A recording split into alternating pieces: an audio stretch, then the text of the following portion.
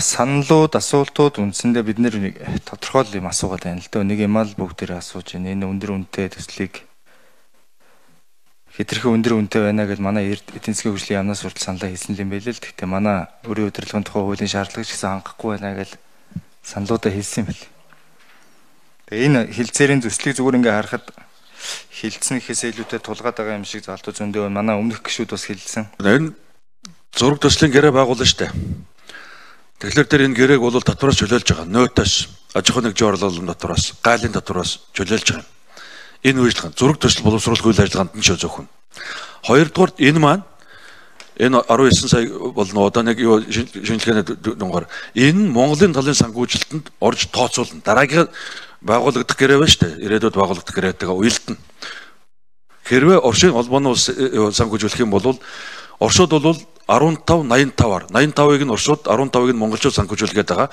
Бид нар 5% нь монгол санхүүжүүлээ 95%ыг нь танах санхүүжүүлчихэ гэдэг. Энэ хаттын экземиг юу бас ангийн шаад байхдаа ингэж 85 15-ыг 5 90-тай болгож ирсэн. Энийгээр ингэж явж байгаа юм. Тийм учраас ингэж ойлгож байгаа болов гэж. Энэ бол зүрх төсөл боловсруулна гэд хар дээр цагаан дээр хараар бичээд танд таны ширээн дээр л байгаа. Ондоо ямар барилга өсрэлтийн ажил бол юм хийхгүй. Барилга өсрэлтийн ажлыг гэрээ байгуулах үндсэн бичиг баримт болох барьж авах суурь нөхцөл маань ийм л юм байна. Ер нь бол тэр 1326 сая еврогаар нь Оросуудын тавьсан жилийн 2% хүйтэй тэр экспортын зээлээр нэгээд явхлаар 9 цент тэр сүлжээнд нийлүүлжээж тэр зээлийн хугацаанд 10 20 жилийн дотор дистанц өртгөө нөгч магадгүй ийм тооцоолууд гарна. Хуурлах байгууламж зураг төшөвтө орцсон.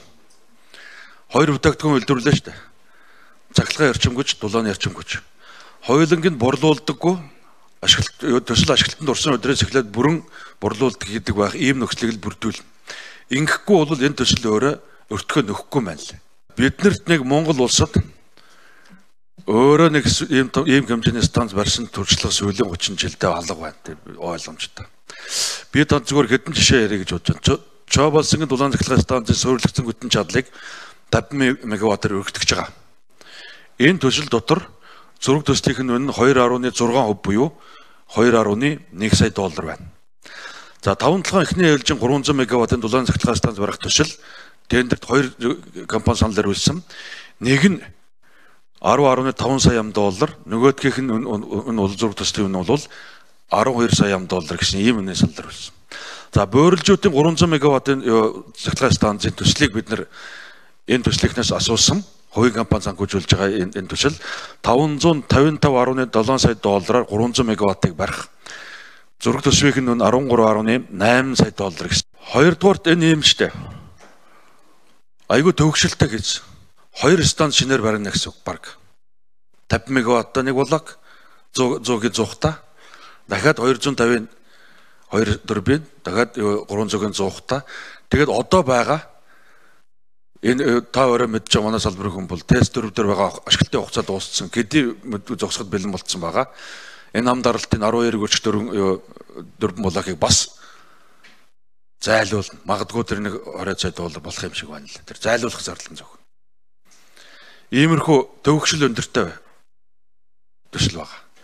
Гол гол нь бол бид нэг Улаанбаатар хотын дулаан хамжиг ТЭЦ 3 маань хамгийн одоо тохиромжтой байрал дээр байгаа их усэр баггүй. ТЭЦ 4 бол баруун тийшээ дахиад 3 3 км холдчихно. Өр ашиг муута. Энэ хэлцээрийн суур нөхцөл нь энэ гэрээний зураг төсөв боловсруулж аж үнэ тодорхой болгож аж цаашдын хэлцээрүүд юуна. Эсбүгээс өн тодорхой болохгүй бол энэ хэлцээр цаашаа явахгүй ингээд зогсно гэдэг ийм л утгатай.